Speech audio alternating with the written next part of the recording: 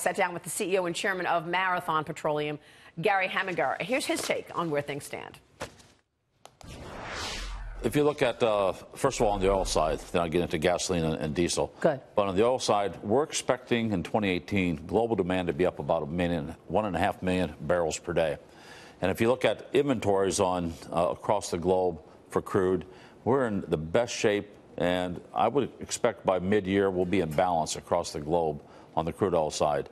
On the gasoline, inventories are the lowest that they've been since 2006. Wow, I didn't realize so that. So if I go back to 2015, 2016, as we came out of the third quarter of the driving season, uh, inventories really swelled in those two years.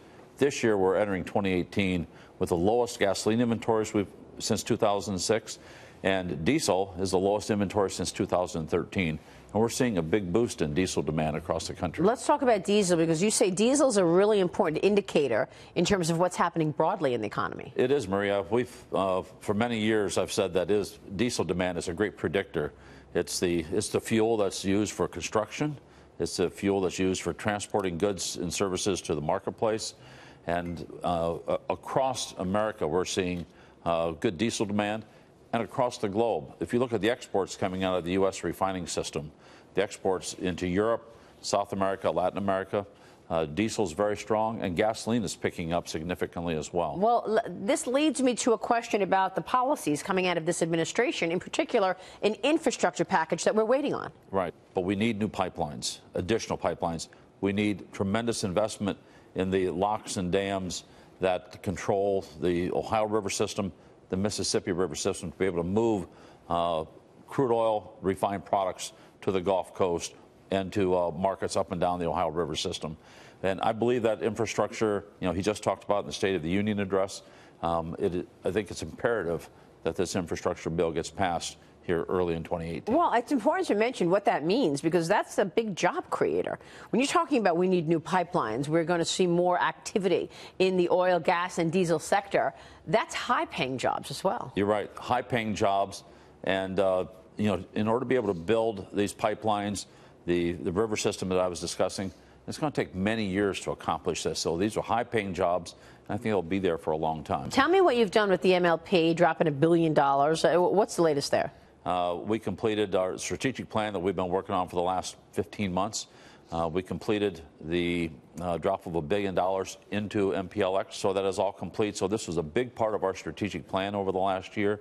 So our midstream segment is is complete. We are also indicating uh, the, or forecasting that we're going to have a 10% growth, which is one of the highest growth rates in MLPs in the business, but we're expecting a in 2018 at 10% growth. I was surprised to see the oil market. And uh, look, I'm, i want to focus on oil, but then I want to get your take on gasoline as well. But, but the oil market to be where it is. I mean, oil rallied right back up. Um, and you've got expectations that this continues. Well, I think that we're eventually going to see oil get into the $70, probably not over 75, but I would expect it to get into $70 and plateau for, for some time. Um, I think the, the caveat there has to be how cautious is the producer in the Permian, um, in the in the southwest part of the U.S. because those are the barrels that are also looking to be exported. But the the global supply came in check uh, very quickly in 2017. As we move out into uh, to 2018 here, I think inventory is going to continue to be in, in good balance. Expecting to see uh, growth. We were the uh, exports were over 1.5 million barrels per day uh, here early in the year. I, I understand in, uh, in late 2017 we were a little over 2 million barrels a day of exports. So, so that's very important for the, the producer to, to understand where the supply and demand balance globally is going to be. But I would uh, I would not be surprised to see crude oil be in the $70 range before the end of the year. You're, you're giving us your update on capex spending. Mm-hmm. How important was the tax law that that we just saw pass uh, to your increases in capex? Well, we we had our uh, capital budget already in place before. But we, we had assumed that there was going to be some change in the tax law that would benefit us. In fact, this big uh, transaction I just talked about with MPLX just moving that into 2018, we were able to save 250 to 300 million dollars of tax, which we're number. going to be able to deploy then in, in further capital spending. But we see some great opportunities for additional capital spending in our refining, in our midstream, but also in our retail space. Where does the growth come from specifically at Marathon Petroleum? Let's call it for the next three years. Um, I think it's going to be, first of all, diesel. We're expecting diesel with the, the new IMO standards that are going into place in 2020, where we have to go to ultra low sulfur diesel for all the shipping that comes in and out of the United States, and in fact, globally.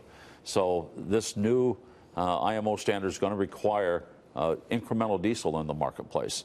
So we are making a lot of investment, what we call, you know, maximizing uh, distillation capacity.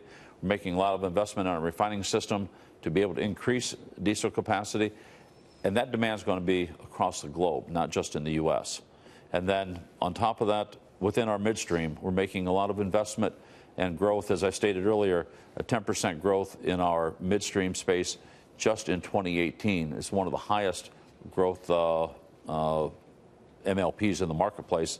And that's just due to the incremental production that we're seeing in the Marcellus, Utica, uh, the Stack uh, region, and also in the Permian. Which is why you're announcing more investment in the business and increased capex, as well as buying back the stock. That's correct. Right. We last year we we bought back 3.1 billion dollars in uh, in stock.